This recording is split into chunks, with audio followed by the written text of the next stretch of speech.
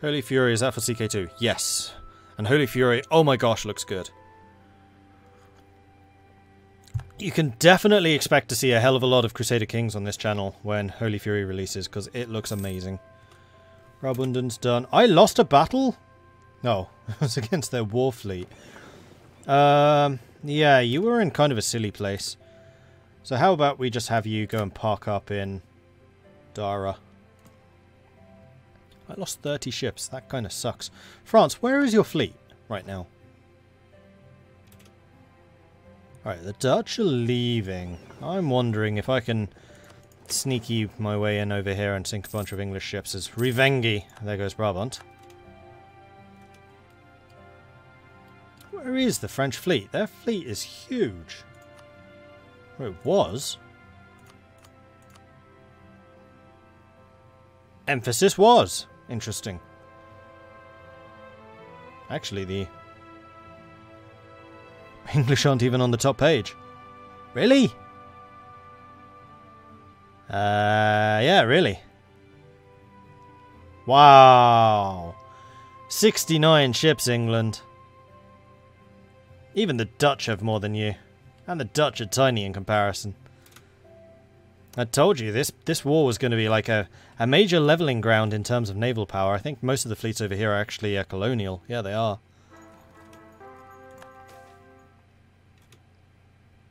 I need another heir. Um, more free money? Oh, three five three four five. That sounds a lot better, actually. Uh, let's go and attack that one. We're just going to go and carve some of these guys up. Kill them. You're still taking that fort. Good. Appears that the heir has become greedy. Shame on you, but I'm not surprised. Also, you are chilling out over there. Then I need you to get another 21 ships, please. Bring you back up to 100. We need to be stealing that Spanish money, even though I'm totally allied with Spain. Ooh, three innovativeness for 5,500 ducats. Thankfully I have 5,700. Bargain. Alright, here's a big battle. What are we actually fighting? That's 23 heavies. How the hell has Dutch Columbia got 23 heavy ships? I mean, I have naval ideas, so I should be okay. And my galleys do kick ass and take names, even not in the inland seas. Not, not as much. But they are still extremely powerful. Yeah, we're killing them. We're actually annihilating them. You're being beaten by galleys. Ha My nav my heavies are being sunk rather alarmingly quickly, but they were seriously old, so it's fine. Tuscany gets pissed off, but I get trade power, or I get dev costs and local goods. This is in Florence, and if memory serves... Actually, Florence is a trade hub, isn't it? It is. Oh, I definitely want the trade power. Because that is a trade hub in Genoa. There we go, sank 22 heavies. And captured 8. So, I actually recouped the losses.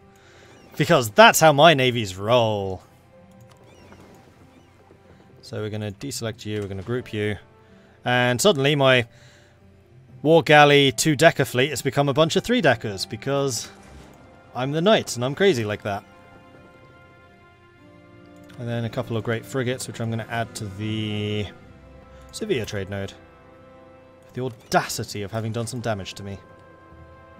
Oh, there's the Dutch. 33 heavies. That one I'd struggle a bit more with.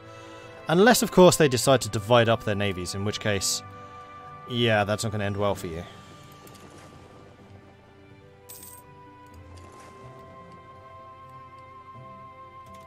Are you going? I wonder if they're trying to get to me. Because if they are, then they're in trouble. I repair while I'm still out at sea. Start following them.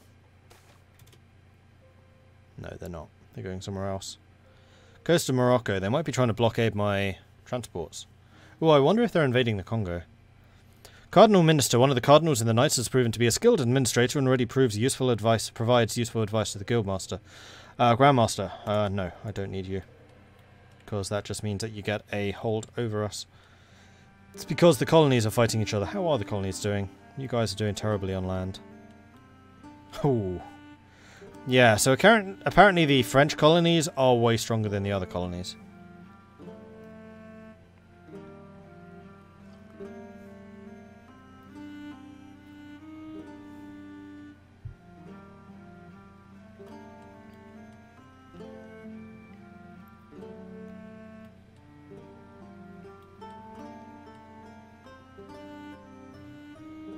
The government overhaul as a whole in Dharma seems promising.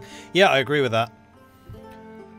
In fact, I would say that the government overhaul and policy and estate, all three of those are getting a huge overhaul, are probably the most exciting things. The thing I'm slightly concerned about is I suspect those are free features and not actually a feature of Dharma.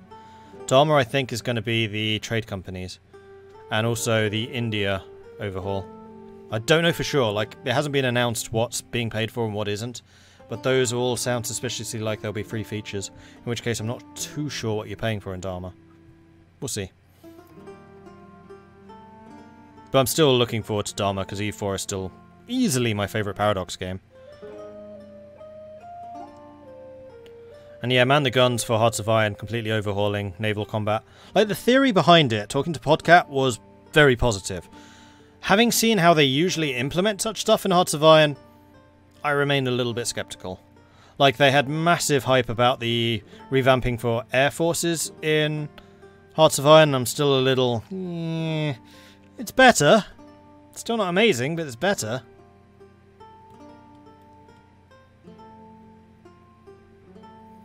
Hype for the new Viking campaign.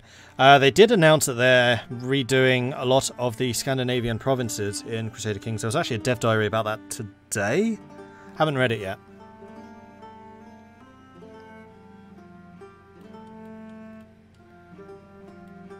So unusual seeing someone actually help the AI ally on all fronts. Well, there's no reason not to in single player. And hell, even in multiplayer, if I can help the AI against one of my rivals or enemies, I'll do it. Mordred's embracing the Knight's naval ideas piracy. Yeah, I am. I really am. Trade companies definitely need a rework. Yeah, they are weak as is. Same with estates. I, I don't like estates. And actually, it was funny. Last year at ParadoxCon, they were saying, we can't touch estates. Estates are one of our biggest regrets, but because it's a paid DLC, we can't touch it. This year, they're like, yeah, we're completely changing it. so, kudos to uh, Paradox for that. And I suspect that might be because of the success of Apocalypse on Stellaris, where they said, okay, it's okay sometimes to tear up the rules, which are already well established, so long as like the outcome is better. And yes, Apocalypse was a big change and a a positive one. It's okay to change your mind with design mechanics, just make sure you follow through on it and you don't just do it half-assed and half-heartedly.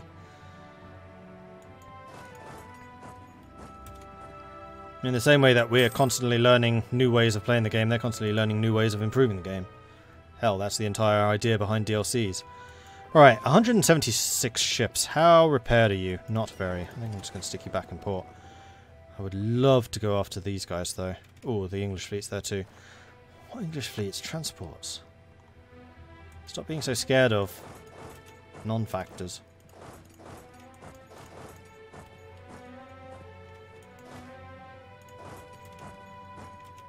Oh, they're, they're having a jolly old go over here. Well done, Bremen. It's gonna cost you, but well done. At least you're trying. Unlike Austria, who seems to be dying. They can't be trying. They're too busy dying.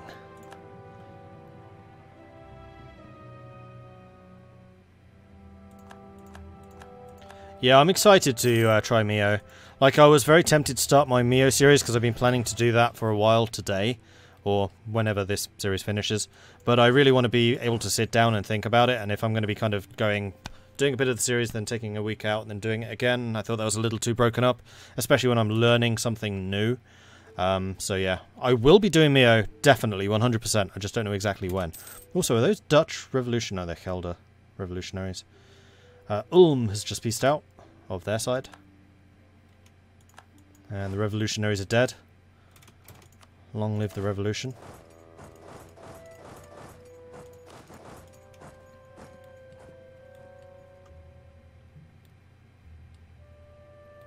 See you newbies. I can't build Suez because Ethiopia owns the southern half. And Ethiopia is an ally, so no, I will not be attacking them. However, spheres of influence in Victoria too are a thing. At that point, all all um, gloves are off.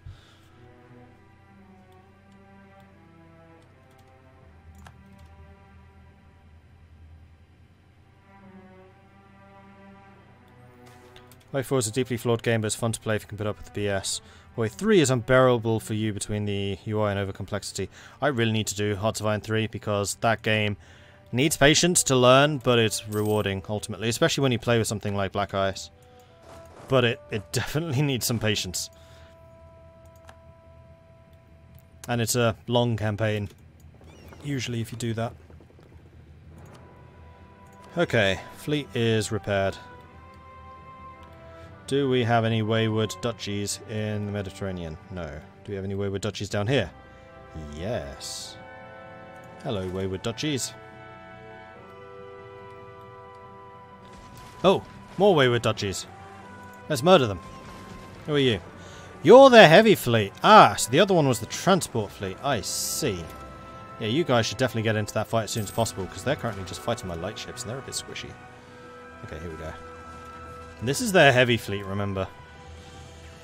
They're dropping like flies. We do outnumber them 3 to 1, but still. I wonder how many... Alright, bets. How many heavy ships am I stealing from this battle? There are a couple of lights. I think that was uh, Colombia again. How does Colombia have such a large navy?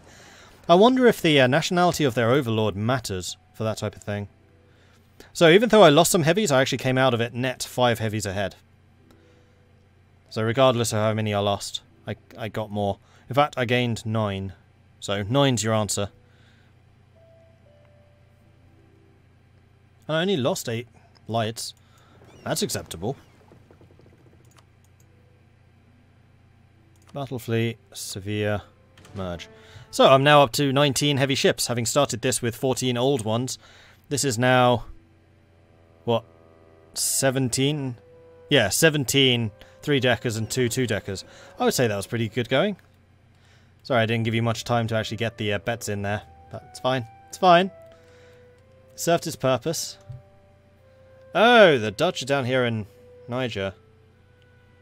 Fighting the French. Well, considering the amount of damage being done in the colonies, I don't want to hurt the Dutch too much. I might actually uh, pull back at this point and just beat armies back that are trying to invade me. I mean, what I might actually do is grab my battle fleet and just park you there. Also, that's a bunch of transports. Don't need you. Five, I'm an oracle. Well, it was nine, not five. It was five net. Nine total. Right, I have money. What shall I spend money on? Again, I need to resist the temptation of just, oh, I was doing this anyway. This this was just Knight's policy. Build all the manufactories. Did we beat Bremen? We did beat Bremen. I thought so. Like, all of my forts are level 8, so yeah, good luck invading us.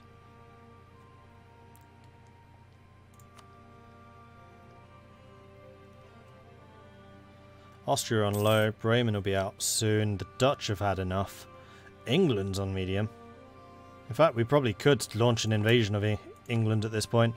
They are down to 51 heavies, we still have 68. So most of our heavies must actually be Ethiopian or colonial. And virtually all of their heavies are going to be colonial. Doomsday for Toramak.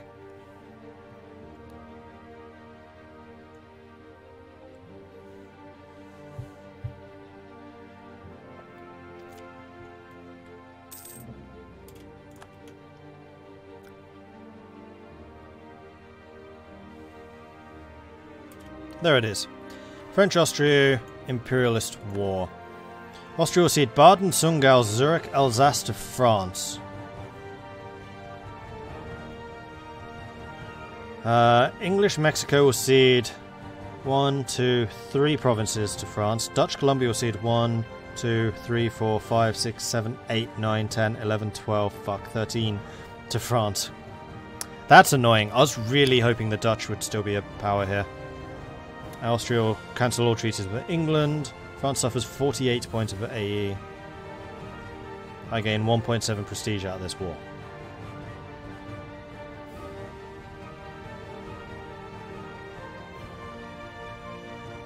Really? That's it? You didn't take any money?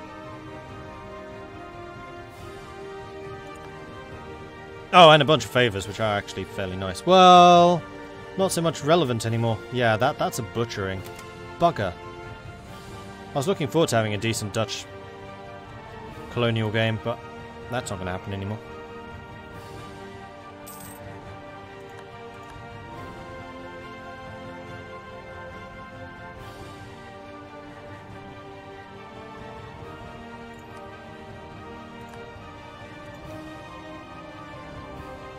Why do you want military access? I'm not anyone.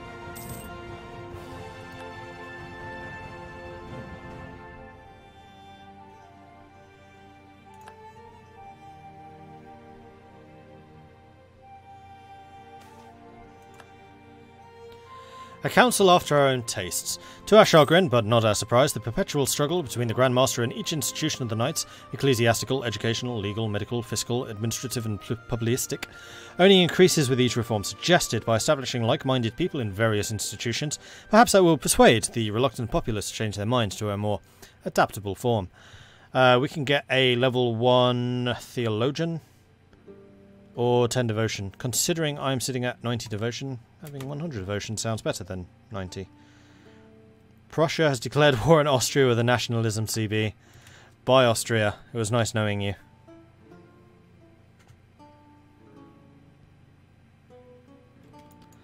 Right, I need to bring the armies home. I mean, we could stay out in the Netherlands on permanent holiday, but I don't think the Dutch would appreciate that. And as far as I can tell, I'm not having rebel uprisings. Nope. I'm actually sorely tempted to go and help Dutch Brazil with their uprising. They would allow me to do it. Yeah, let's do it. Uh, transports. You're a transport. I want one of my decent generals to do this. You'll do.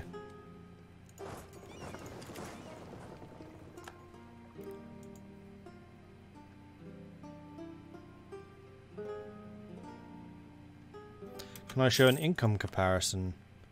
I can.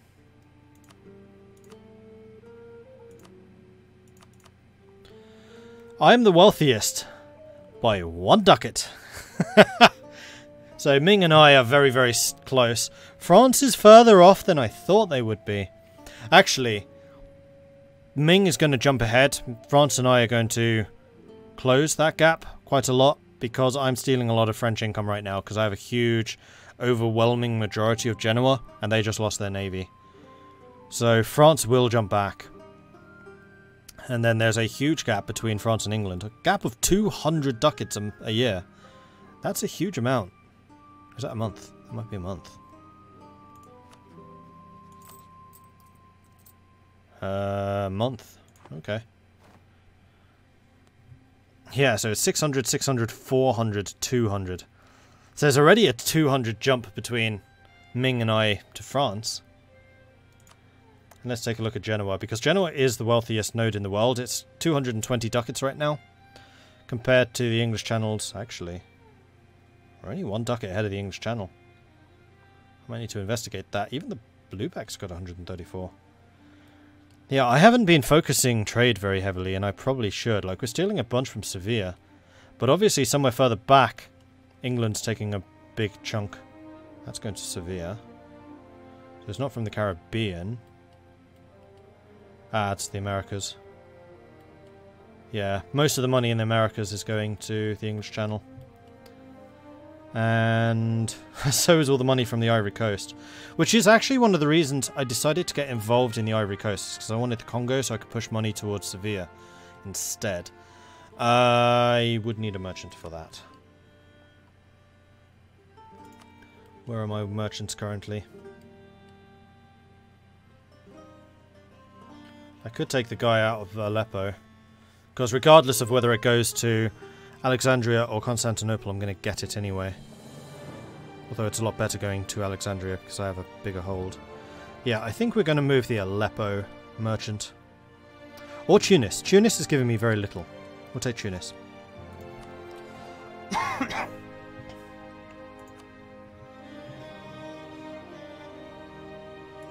that guy. And then I'll need to park a trade fleet down here too. Also I can get technology, not yet. Right, force limit. I am still like a hundred under. So we're going to build some more light ships.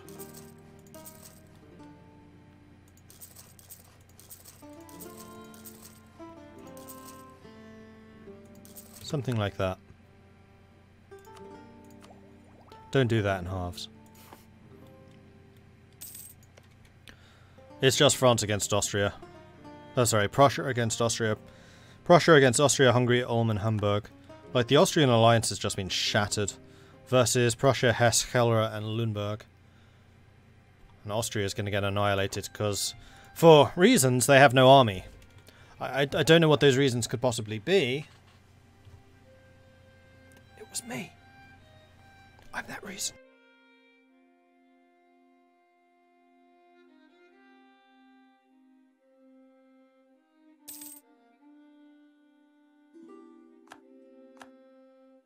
Right, I was going to move an army over to the Dutch. Um, you. Load on a boat and then send you halfway across the world over to there. Go. Then the other side, I'm going to start just splitting out mercenaries and we're going to reinforce with full-time soldiers. Because we have quite a lot of manpower. I feel like this is Feasible.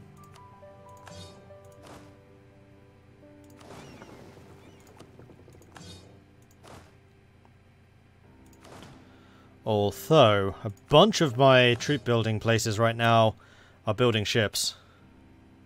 Oh well, we'll deal with it. You could really do with being over here, I think. So you. Assign template, standard. Just build me those units automatically. You. Sign template. Standard. And start drilling.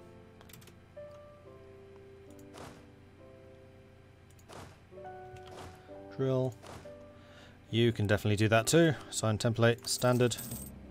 You need a general, and then we can start drilling you. Or I could just give you the marshal, or the king. Grandmaster, that's the word. You can do the same thing. You actually need far fewer.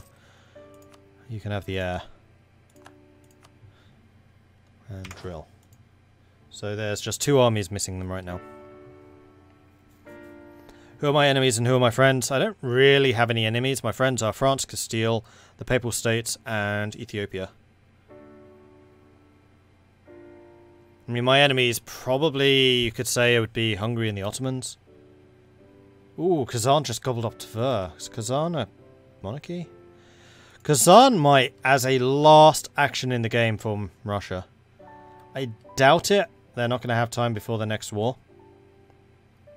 And they need Novgorod to do it. And Novgorod is still owned by Novgorod. Novgorod might actually outlast Tver, even though Tver basically were Russia at one point. So much money is about to flow into those mercenaries gone. Yep. Also, yo, nobility.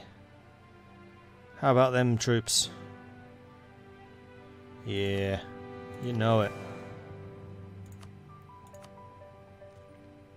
And that one. Although that makes you a little bit aggro with me. You guys adore me, crikey.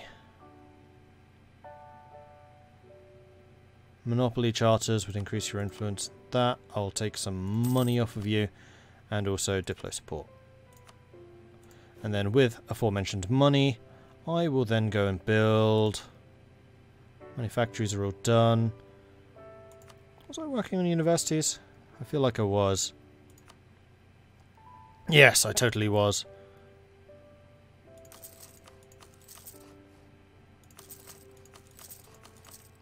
This is for the literacy. There we go. Can I form something? A country? No. I mean, theoretically I could have formed um, Kingdom of God, but it's like six years until the end of the game. Not going to bother. Plus, I quite like the idea of just having the knights plastered across the, the screen.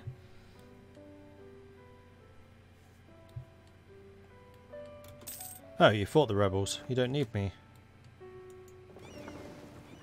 Or else they just broke your country. You're still... You are still a minion. Let's go and help them in Dutch Niger.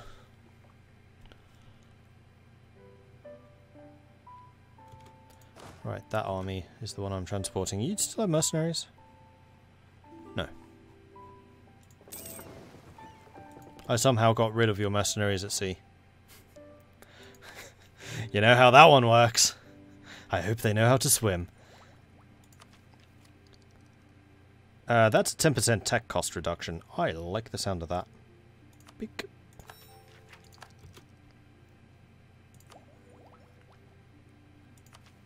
I can't believe that we're basically two full idea groups, like, out. That's how many monarch points I've been spending throughout this game, just trying to keep ahead with technology. Or keep up with technology. And just having had really bad rulers throughout. The other thing I could do is just drop you guys off in the Congo and have you build your forces up to full strength. That's probably what I should be doing.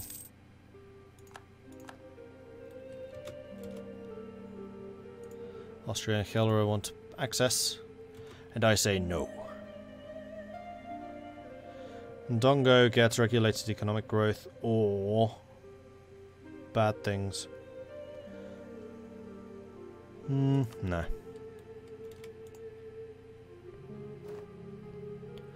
I feel like the Knights in Victoria too should totally go fascist considering they're already a militaristic political order. True, but they're also extremely tolerant considering I haven't actually completed religious ideas and they have a lot of cultures living amongst them. They're pretty enlightened, like the technology's good. They focus a lot on techno on um, Trade, which is liberal. How mercantilist are they? Oh, they're super mercantilist. yeah. Which is definitely more like an interventionism. They're probably more interventionist than fascist.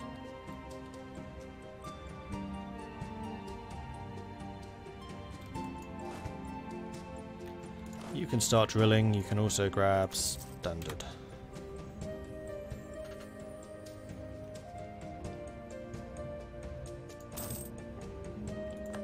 Right, and you've arrived. Standard. Boom. Let's get your troops in.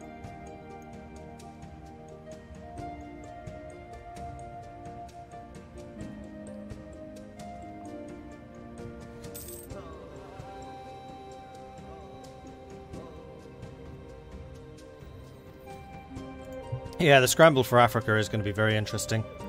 I'm glad the Dutch still have a hand in on that one. I'm, I'm pissed that they lost so much of this. I am so happy that this still exists, though. This is probably the thing I'm the happiest about. Look, look at that glorious Vinland. That is amazing. That's also going to put um, Norway in a really strong position. Owning Scotland and Norway, having very good relations with Denmark, and a possibility of going after a very weak England. I can see a bright future for them. What is my favourite game? I know it's a big question. You're probably watching it right now. Either that or Mount & Blade. I do like Mount & Blade. But I've been playing a lot more of this one recently. Those two are... Yeah, E4 I'd say is my favourite. The Mount & Blade's probably second.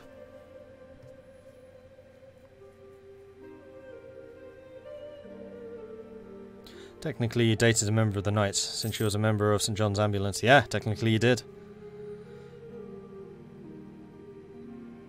No, St. John's Ambulance are the Knights. Because the Knight's full name is the Knights of St. John. St. John's Ambulance are the English derivative thereof.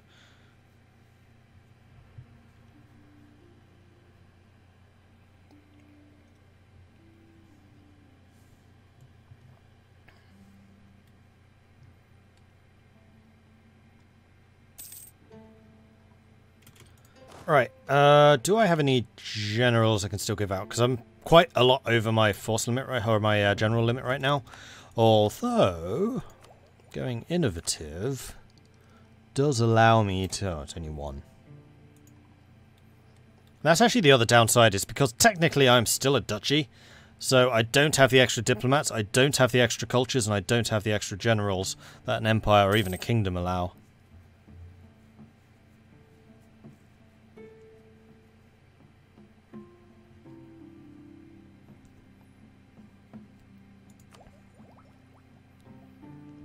And 32 is the final one, isn't it?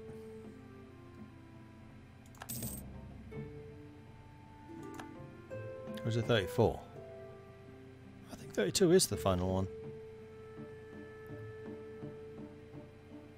Yep, 32 is the final one. Well, I'm going to max these two out. Easy. I'm not sure about admin. Depends whether I can resist spending any admin points or not.